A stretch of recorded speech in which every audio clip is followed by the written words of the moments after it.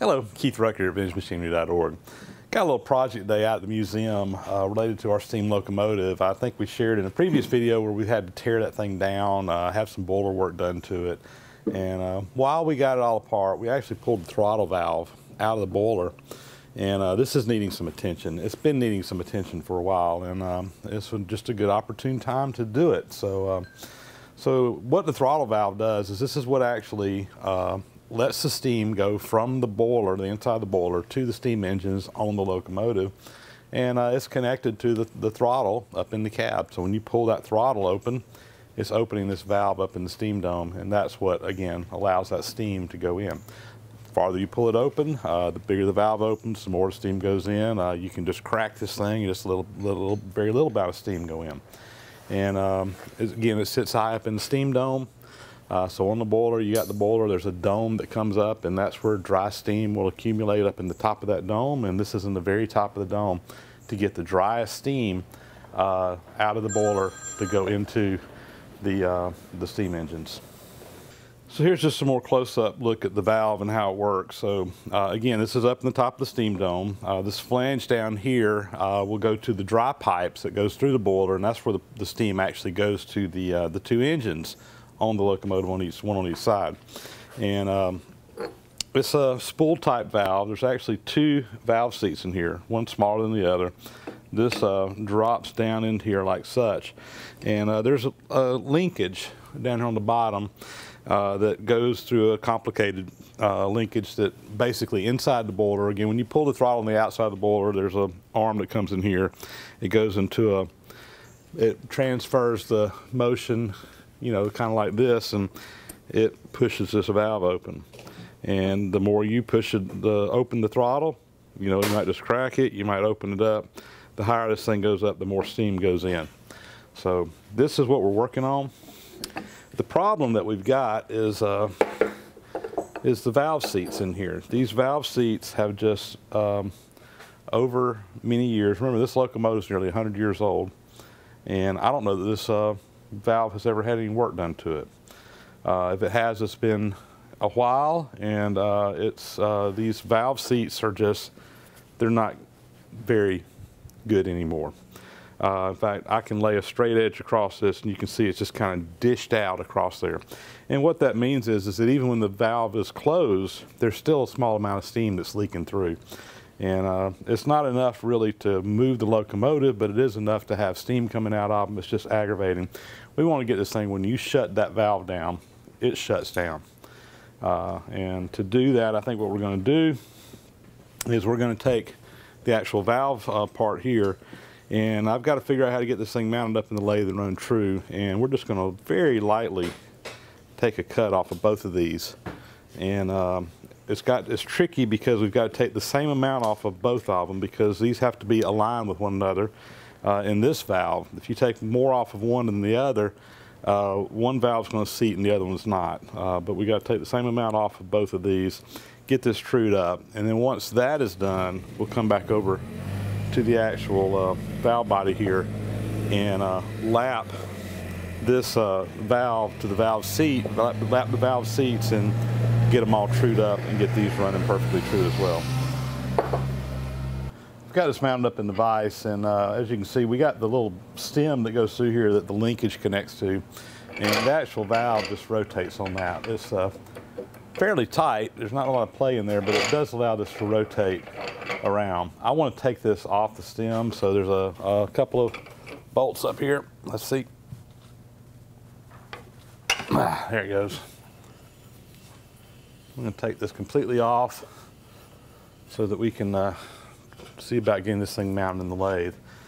Got a couple ideas on how we're going to go about it, but until I get this thing off and really look at how it's all put together, I may have to change my plan. All right guys, we got this thing set up over here on the lathe and uh, we got it in the four jaw chuck and got a center, uh, my big bull center here First time I've used this on the other end. And, you know, down here on this end, it's running within, well, two thousandths there. I may actually, it was running better than that. I've, I've tinkered around this end. I may try to fine tune this a little bit more because I had it running within a thousandth while ago. Um, But we've got a little issue that I got to deal with, and that's on the other end. Let's roll this around to this one. On this end, let's see, let me put that back up at zero. You know, we've got about, let's see,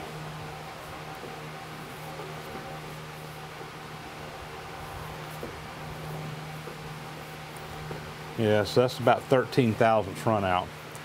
And I think the problem is, is that this hole that's drilled through here isn't exactly in center with everything else. But for me to support this, I really need to use this hole.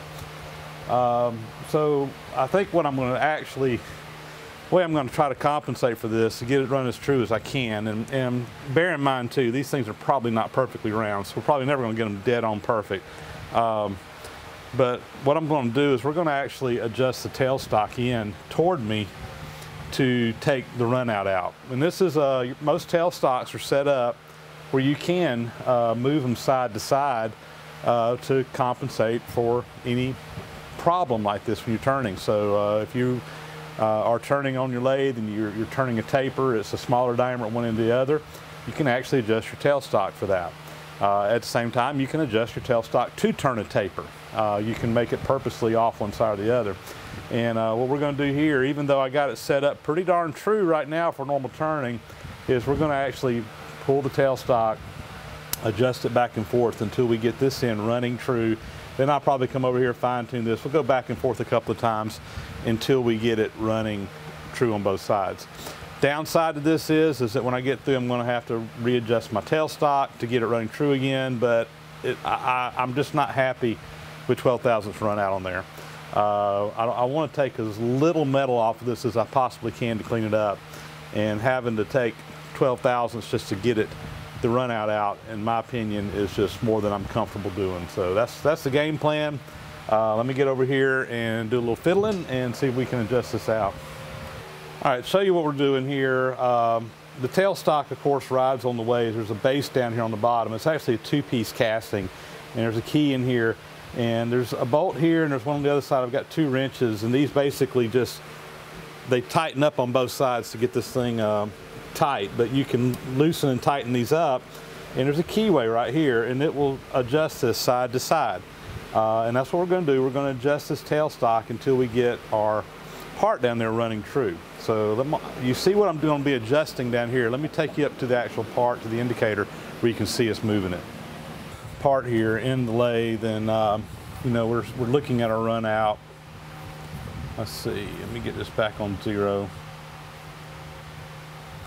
Here we go. So that's our bottom end, and we're going to about 13 up here.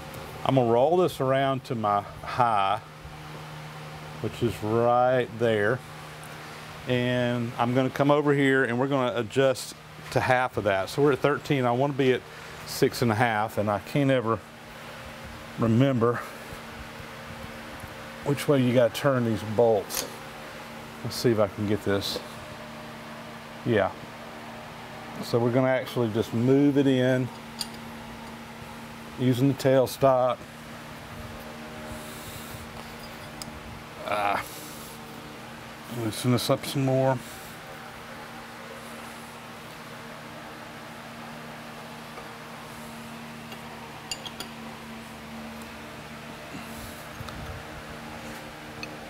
Getting close.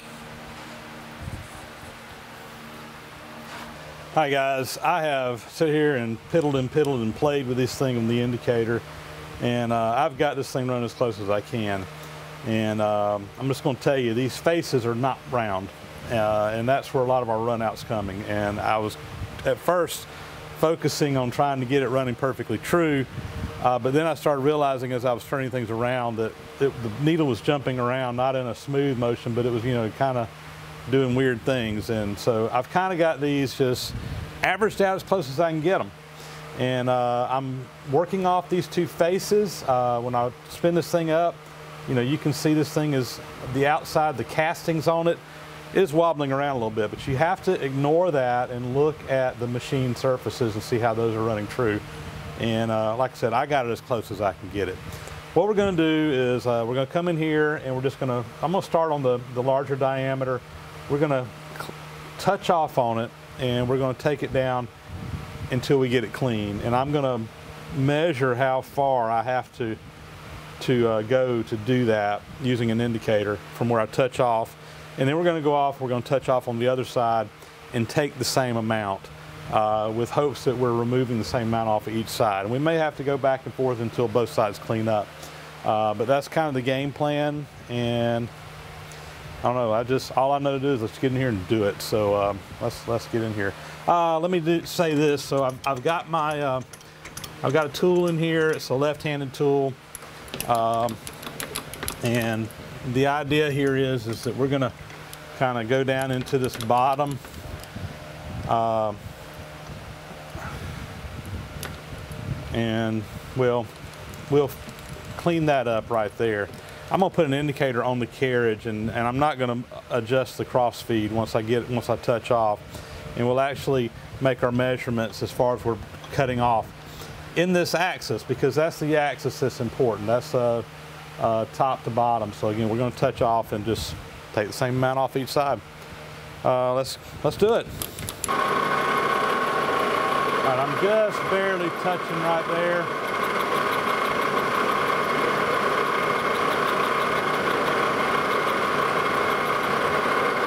Put my indicator down here on the carriage. I'm gonna go in about 10 thousandths.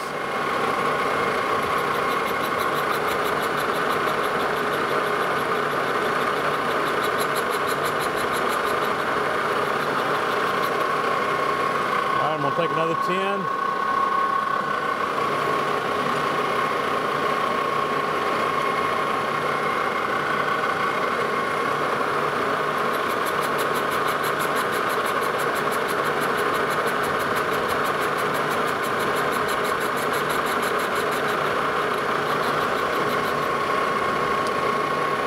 Take another 10.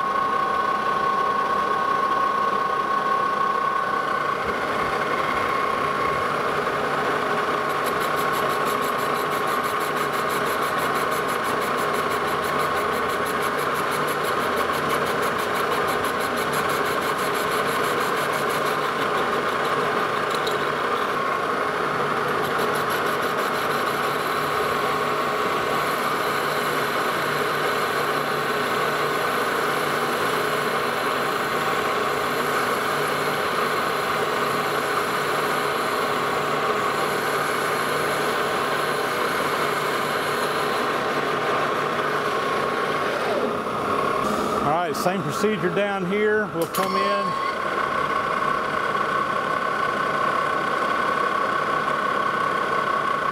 Touch off.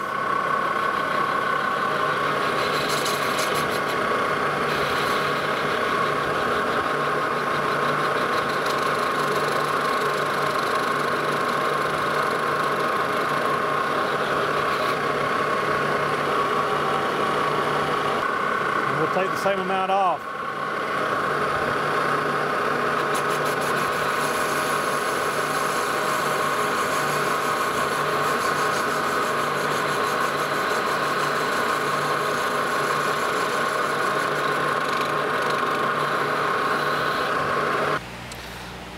Got the uh, valve faces um, turned on the lathe. They look good. Uh, I dropped this down in here and they feel like they're seating up both on top and bottom pretty well. So next step is is start lapping this in. This is a long tedious part.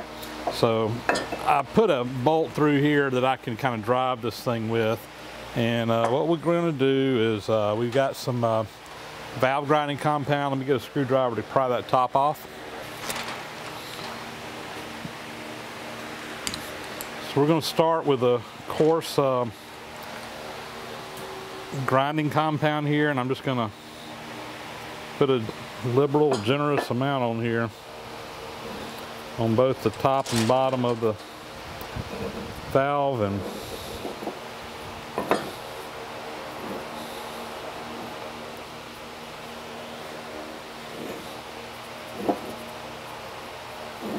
This is just basically an abrasive that's uh, in a um, slurry. It's kind of a grease type material. And uh, it'll get between those two joints We'll drop this down in here. And and I've just got a um, air powered ratchet here to power this and we're just going to start letting it spin.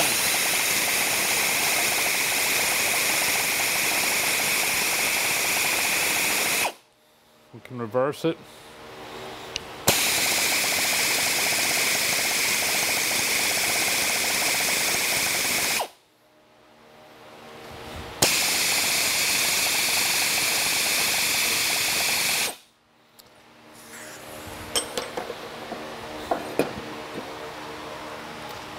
and you can actually see where it's rubbing on both top and bottom. What we got to do is we just got to continue doing this until we get both these surfaces ground into one another uh, where they're perfect, absolute perfect match. And when that's done, this thing should seal up. And uh, I'm not going to bore you guys to death. This is going to be a long process and uh, we'll bring you back hopefully at the end.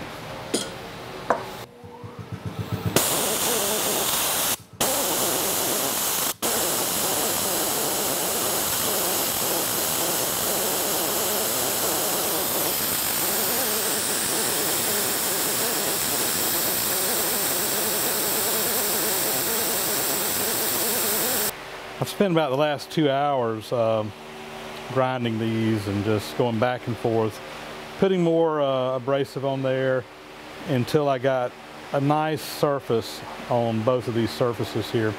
And you can kind of see this little frosted looking surface. And you feel it, you can actually feel a little lip in the top where it has really ground a good seat uh, between this surface and the inside surface. And I'm looking down here, you can see a nice clean ground surface on here too. So when I got these back together, it became evident pretty quickly that they were real close to matching, but the bottom was hitting before the top. So I actually had to grind a good bit on the bottom before the top would ever start really cutting good. And that was part of the reason why it just took a long time. Really difficult setup here because you really have to get both of these seats uh, in just right. And you know, we had to get them real close and to the existing seats in here and uh, that was challenging. That was challenging to say the least, uh, but we got it done, and with lapping, uh, we were able to get a good surface in there. So at this point in time, I think we're going to call this job uh, done. Um, everything's been lapped. This is ready to go back together. I do need to go ahead and put the little um, the part that connects the linkage on here and get all that back ready to go. But um, other than that, this job is finished, and uh, this will be ready for when the boiler comes back from the uh, boiler shop and we can go ahead and get this back on the locomotive. Knowing I'm going to be on the road the next couple of weeks and that the boiler's probably going to come back while I'm gone, I wanted to go ahead and get this done before I headed back out of town again. And uh, I'm happy to say this is now ready to go back home. So that'll be a wrap, guys. As always, thanks for watching. Uh, give me a thumbs up if you like what you saw. Um, leave me some comments. And uh, as always, just appreciate your subscriptions and you being there and watching these videos. Uh, thanks a lot. We'll talk to you later.